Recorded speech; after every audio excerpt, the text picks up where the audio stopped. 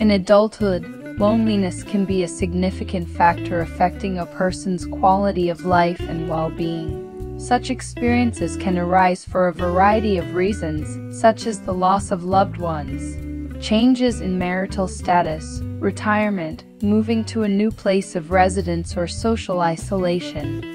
For many people, loneliness in adulthood becomes a challenge that requires adaptation and finding new ways to interact with the world around them. However, it is important to note that loneliness does not necessarily mean a lack of close relationships.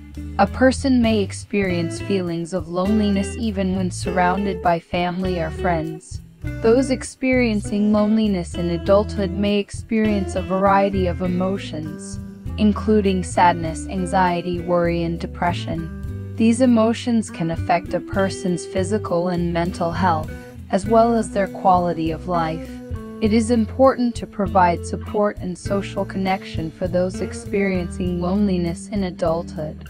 Loneliness in adulthood is a complex problem that requires attention and support from society.